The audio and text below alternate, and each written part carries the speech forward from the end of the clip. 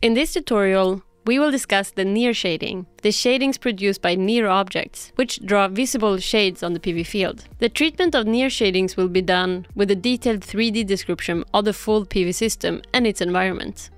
During the simulation, shading calculations are performed at each hour with each irradiance component.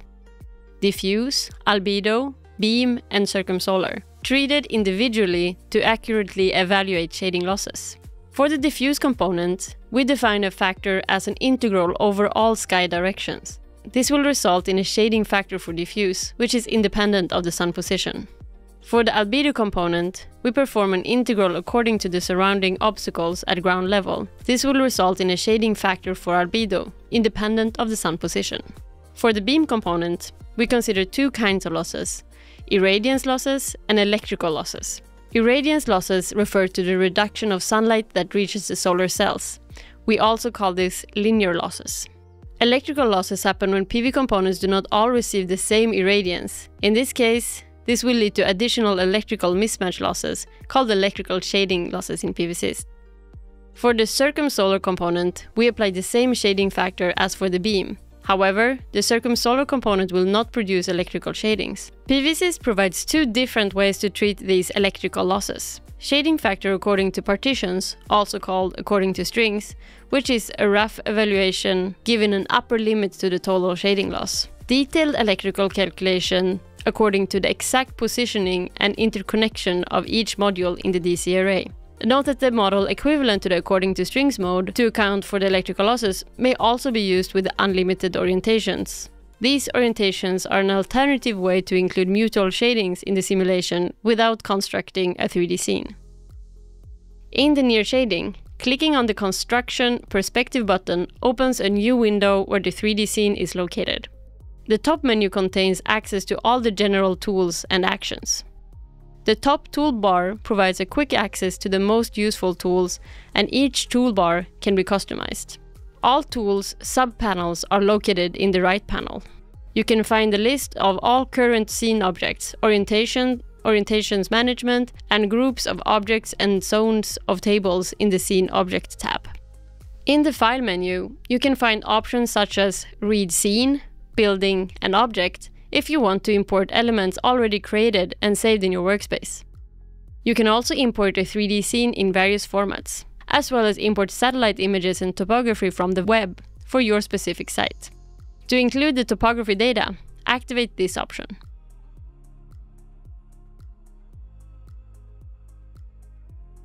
You can simplify the terrain by double-clicking on the ground object and click Simplify to reduce the number of polygons.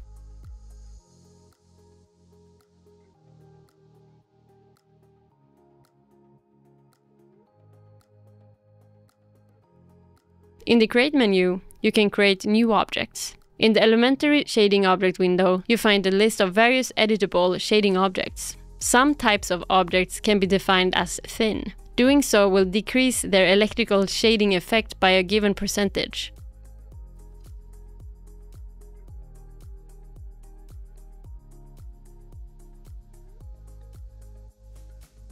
By default, all objects cast shadows on the PV fields, but unchecking this box will disable this behavior and the object will not be used in the calculations.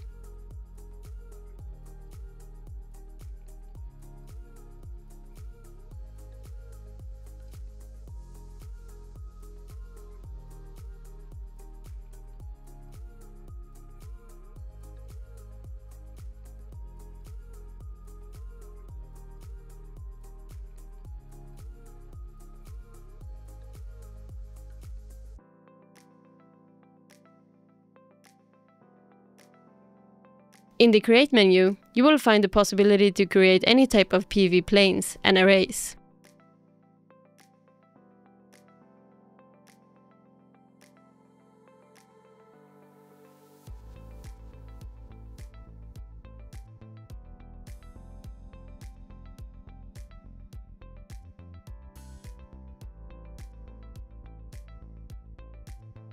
In the Select menu, you will find specific tools and how to easily select specific elements in the scene. In the Edit menu, you find functions to modify objects and selections, as well as the tool to set automatic altitude to adapt the height of the objects in the scene.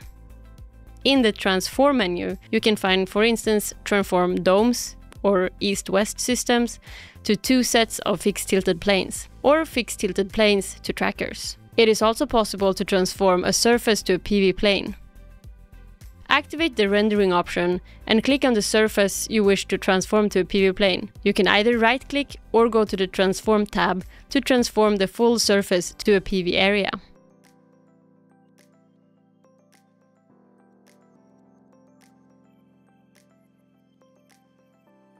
In the View menu, you find a different perspective possible of your scene, as well as their short shortcomings. In the rendering options, you can for instance enable real-time shadows.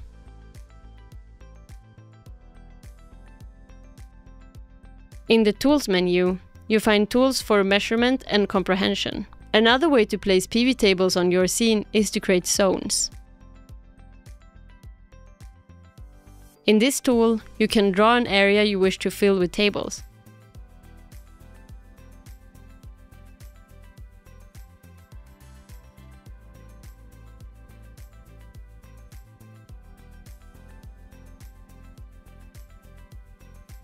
Define the field properties and click Field Zone.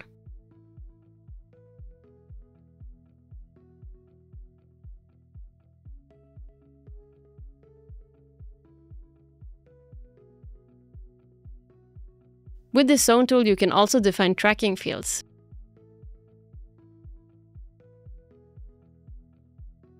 In the Tools menu, you find the window to set the tracker's diffuse shading definition, as well as the backtracking management.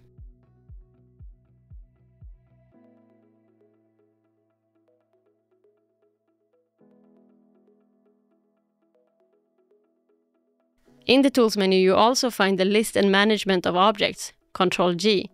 In this window, all of the objects and PV tables of your 3D scene are listed. Each column can be filtered and sorted in ascending or descending order. You can select objects directly in the list, and the selected objects will remain selected in the shading scene. The fields are editable. If several objects are selected, the modification will be applied in a grouped way to all of the selected objects.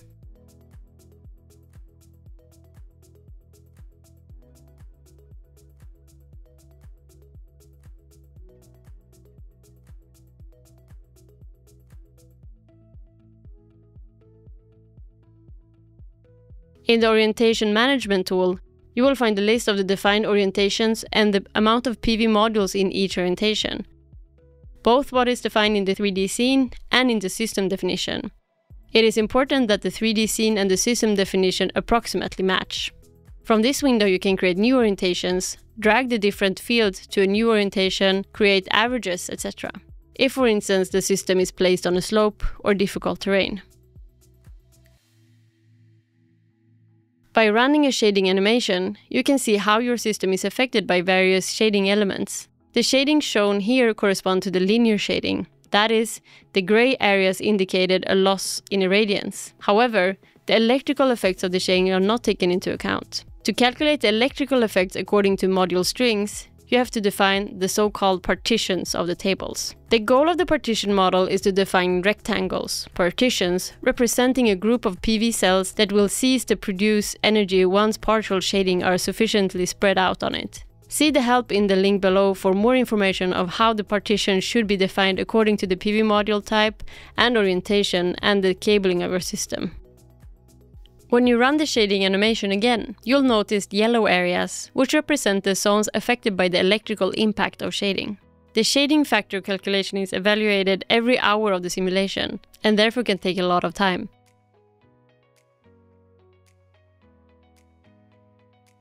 When using the According to Module String option, you can choose between a fast or a slow calculation mode.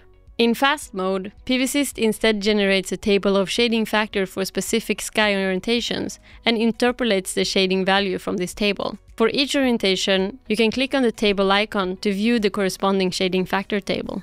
This same information is also shown as an ISO diagram, providing a quick and intuitive view of how shading affects performance throughout the day and year. To use the detailed electrical calculation option, you have to carefully define each string in the module layout window for the calculation of the IV characteristics of each module in a string.